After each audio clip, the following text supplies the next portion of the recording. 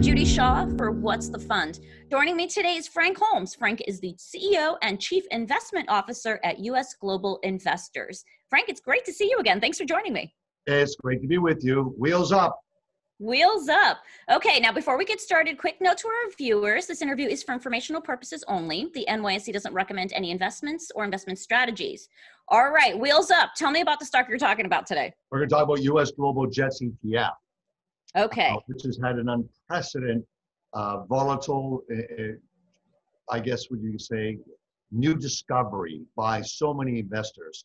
And what I love seeing is the ecosystem they call it that the stock exchange, New York Stock Exchange provides, uh, is, is that it's rich now. You can see it with JETS ETF.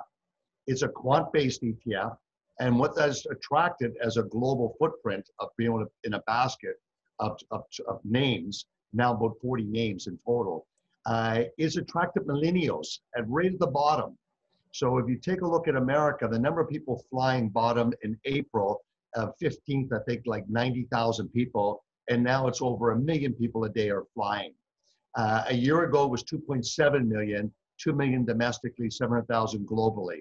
So when we look here, is that we're only halfway up on the number of daily people flying, but Jets has participated in that rebound, and we saw the volume go from 35,000 to 3.5 million a day.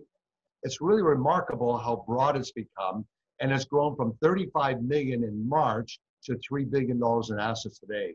Frank, tell me about the strategy behind this fund. Well, it's a unique strategy, and I learned a lot creating it. We created what they call a smart beta 2.0 because it's not just the stock picking factors, it's how the portfolio is constructed and it recalibrates every quarter.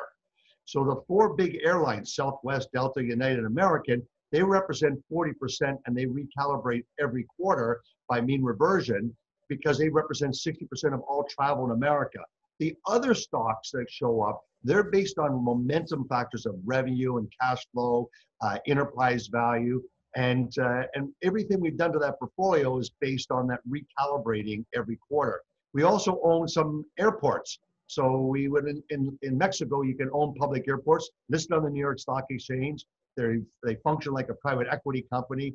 Beijing is public. Uh, Bangkok is public, so there's many global air, airports, not in the U.S. but global, you can buy, and so if they would come in and out depending on their growth metrics.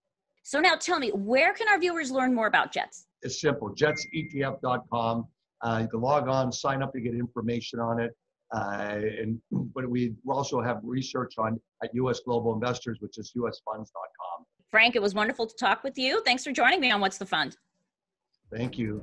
Happy investing and holidays.